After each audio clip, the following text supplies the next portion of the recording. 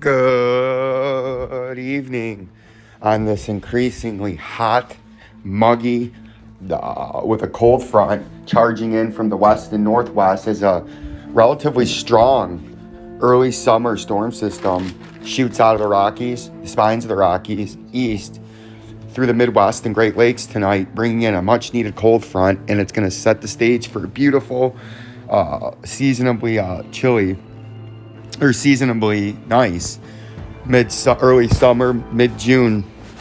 By then, late June temperatures, but we have severe weather ongoing across west central Iowa, uh, approaching the Illinois, uh, the Mississippi River, or the Illinois River as we like to call it, uh, in this part of the Midwest. And these storms are going to charge east with supercell thunderstorms and bow echoes.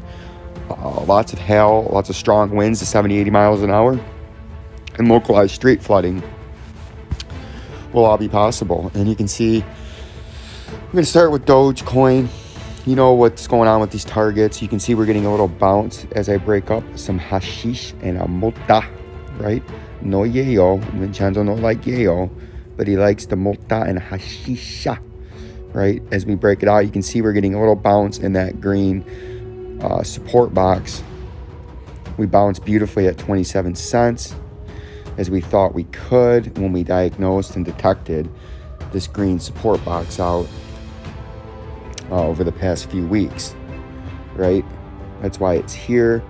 We are not surprised that we're seeing a little bounce in that support box. And it just so happens, as you can see, as the price has moved, at 30 cents, we have major resistance, right? You see that at 30 cents. And then if we clone that, we got major uh, support at about 25, 26 cents where we bounced. We'll get that targeted move out of now. You can see what we could do the rest of this evening is bounce to this upper support box and then get hammered back down and then start working down because these moving averages, the green, the red, and the blue, the 200 to 150 respectively, are downtrending. That's bearish. Volume's crashing, except when there's big sell volume. That's bearish.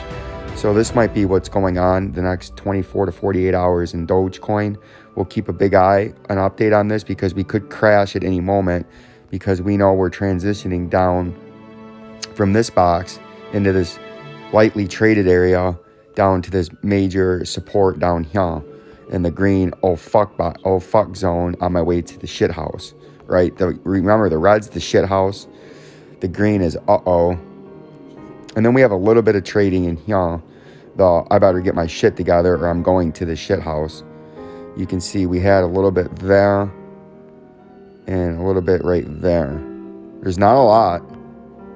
I mean, there's really not a lot. That's why I don't even really have a box here because there's really not a lot of fucking trading. You know what I'm saying? I mean, this is just fucking shithole. I mean, there's a little bit here we'll throw just because there is a little bit of trading. So we will add that in there. Right there, see that? I mean, it's actually down a little bit lower. It's like right there. See that? That little bit of trading in there.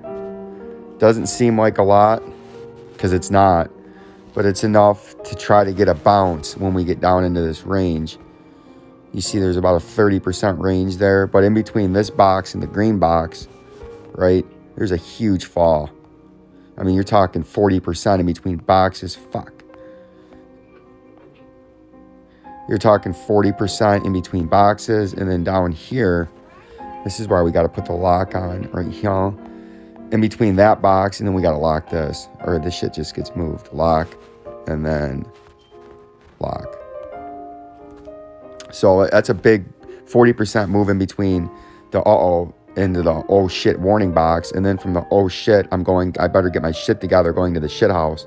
It's another huge collapse at 31%. And um, we're going to keep an eye on this because you can see as it rotated through these boxes, see all this trading that it had back here on its way up in these boxes. That's why we have it highlighted because I mean, it could even be brought down a little bit more. Because there is, come on, I forgot I locked it.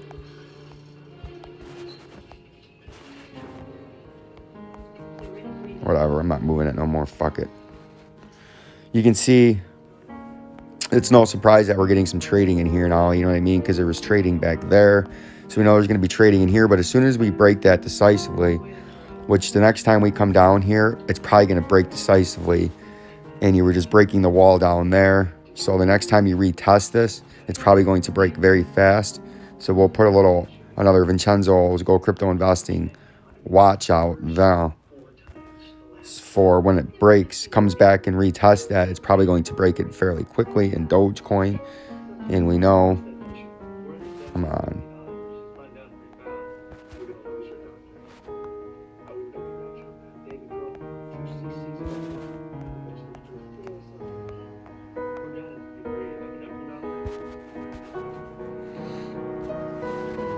Delete some of this off. We know the next time it comes down there, it's going to be very critical. So that's our watch. And our target is going to fall very fast down to that upper support box. So the, oh, I better get my shit together.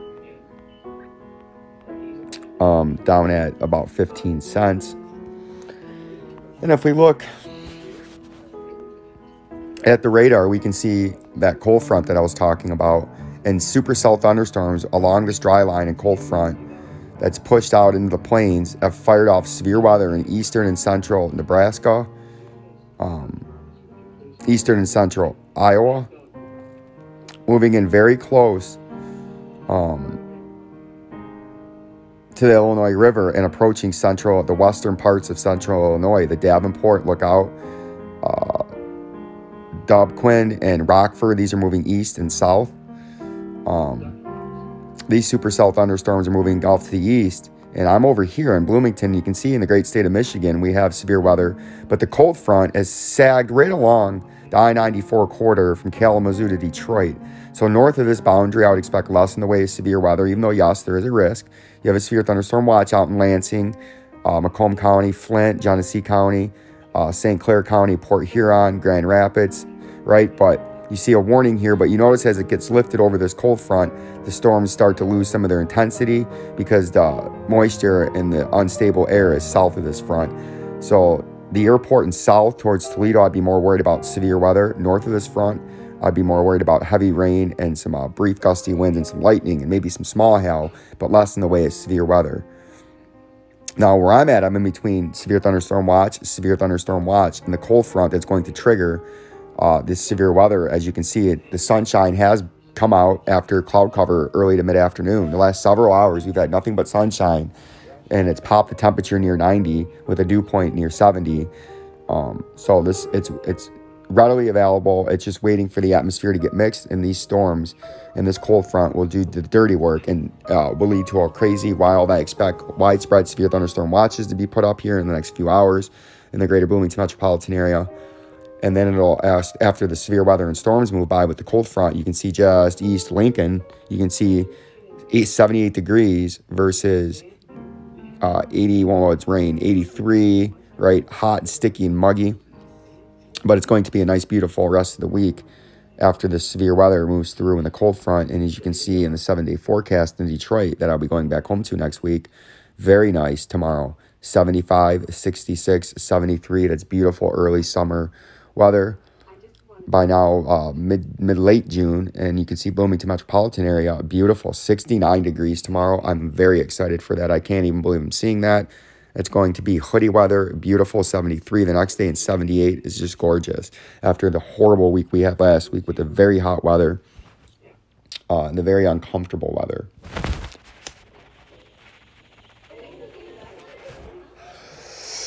Oh yeah and you can see we've changed we have a crypto page now. So when we look through here it's all crypto. We can see we have a gold silver's commodity section. So when we come on here i'm still getting off the mischief. We have our gold and silver and of the other nonsense. And then in here we have our dow our nasdaq our 10-year bonds and all of our major um, us stocks amazon google microsoft tesla apple Facebook, Twitter, and then I'll add more as you guys ask. Bitcoin, you can see it's the futures market's open and it's starting down. It's in this bearish consolidation pattern in this green support box, right? And we know after this green support box, um, we don't really have much trading in between that